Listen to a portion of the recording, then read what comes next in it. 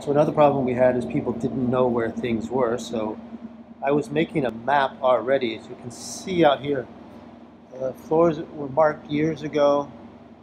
The paint's coming off. Can't tell where everything is. And back there you'll see that there's a sign for a bookstore. This bookstore hasn't existed for about 20 years, and yet the sign is still up there.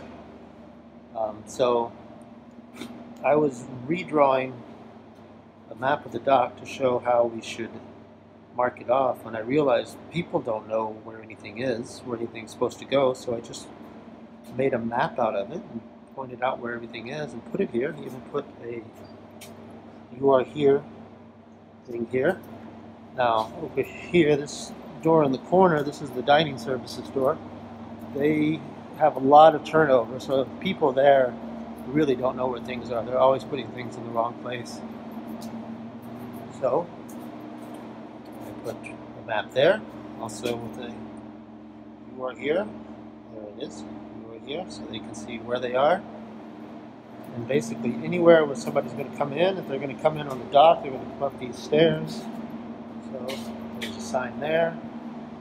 Or come back here, you have to excuse the sound of the heater. See dock doors here that are the most used. So I make sure when people come in this way, there's a sign there. This one also shows you you are here. Here's where everything goes.